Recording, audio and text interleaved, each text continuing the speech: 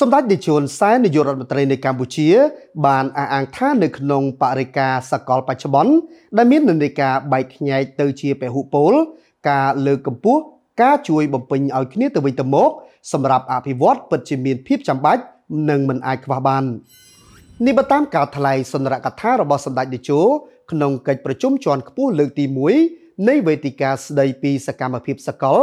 សម្រាប់ការអភិវឌ្ឍរួមនាព្រឹកថ្ងៃទី10ខែកក្កដាឆ្នាំ2023តាមប្រព័ន្ធវីដេអូការលើកកម្ពស់ការជួយបំពេញគ្នានេះសម្ដេចតេជោនសែនចង់សម្ដៅលើការដាក់ចេញនៅសកម្មភាពអនុវត្តជាក់ស្ដែងលើការអភិវឌ្ឍមូលធនមនុស្សការកាត់បន្ថយគម្លាត Digital ការពង្រឹងច្រវាក់ផ្គត់ផ្គង់និងផលិតកម្មតំបន់និងសកល ការជំរុញការវិនិយោគដោយផ្ទាល់ការសាងសង់ហេដ្ឋារចនាសម្ព័ន្ធ ការអភិវឌ្ឍវិស័យហិរញ្ញវត្ថុនិងការអភិវឌ្ឍសេដ្ឋកិច្ចបៃតងនិងភាពធន់ទៅនឹងអាកាសធាតុព្រមទាំងការគ្រប់គ្រងផ្នែកហិរញ្ញប្បទាន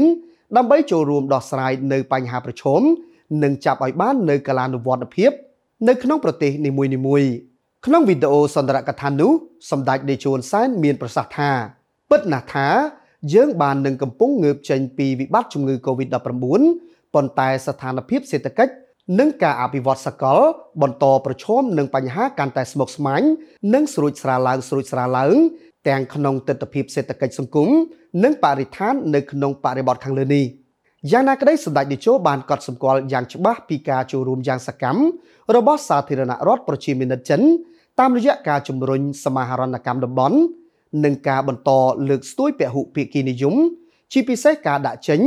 នៅគំនិតផ្ដួចផ្ដើមអភិវឌ្ឍសកលឬ GDI និងគំនិតផ្ដួចផ្ដើមសន្តិសុខសកលឬ GSI ដោយឯកឧត្តមប្រធានាធិបតីស៊ីជីនពីងដែលបាននឹងកំពុងក្លាយជាកម្លាំងចលករដ៏សំខាន់សម្រាប់គ្រប់គ្រងដល់បណ្ដាប្រទេសកំពុងអភិវឌ្ឍក្នុងការស្ដារសង្គមសេដ្ឋកិច្ចឡើងវិញនិងការសម្រេចឲ្យបាននៅរបៀបវិរៈឆ្នាំ2030សម្ដេចតេជោនសែនបានអះអាងថាខ្ញុំជឿជាក់ថា ការលើកកម្ពស់កិច្ចសហប្រតិបត្តិការកម្ពុជាចិននេះនឹងបំពេញបន្ថែមដល់គំនិតផ្ដួចផ្ដើមនានាសម្រាប់ការអភិវឌ្ឍសកលឲ្យកាន់តែមានប្រសិទ្ធភាពខ្ពស់គូបញ្ជាក់ផងដែរថានៅក្នុងក្របខ័ណ្ឌទ្វេភាគីកម្ពុជានិងចិន បានខិតខំលើកកម្ពស់កិច្ចសហប្រតិបត្តិការដល់កម្រិតកម្ពុជាคล้ายជាកិច្ចសហប្រតិបត្តិការត្បូងពេជ្រ និងបានដាក់ចេញនៅសេចក្តីថ្លែងការណ៍រួម ស្តីពីការកសាងសហគមន៍វាសនារួមកម្ពុជាចិន នៅក្នុងយុគសម័យថ្មី ឆ្នាំ2024-2028ផងដែរ។